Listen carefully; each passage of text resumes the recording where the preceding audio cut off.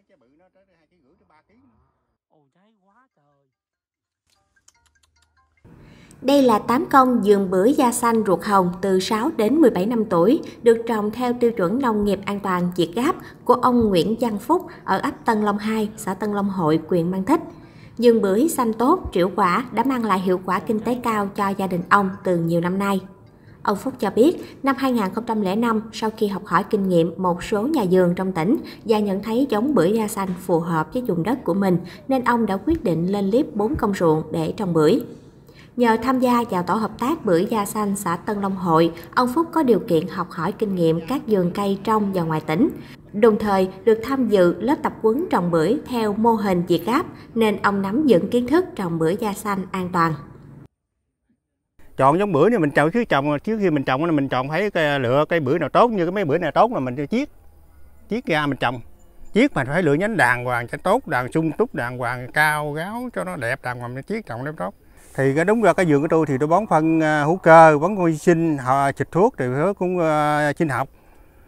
Nó cây à, nó mới tốt sung đều với trái nó to nó đẹp nó bóng trái.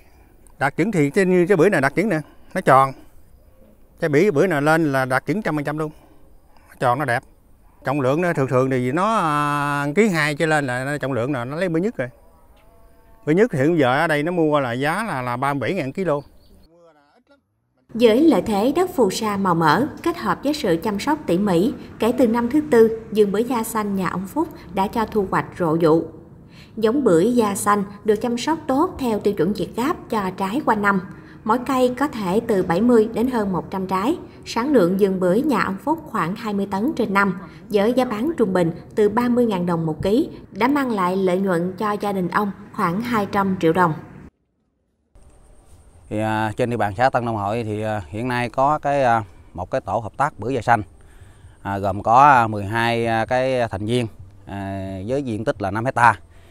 À, thì à, à, đồng thời cái tổ hợp tác này thì cũng được à, nhà nước quan tâm là đầu tư hỗ trợ đã đạt chuẩn Việt Gáp năm 2019. À, thì à, qua cái à, mô hình của bưởi da xanh ấp Tân Quân 2 thì đối với cái tổ hợp tác này thì phát triển rất là tốt, à, mang lại cái hiệu quả kinh tế rất là cao.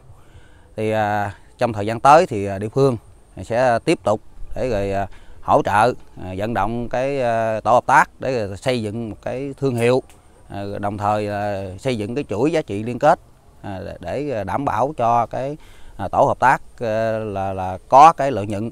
à, góp phần là nâng cao cái giá trị kinh tế đối với cái tổ hợp tác.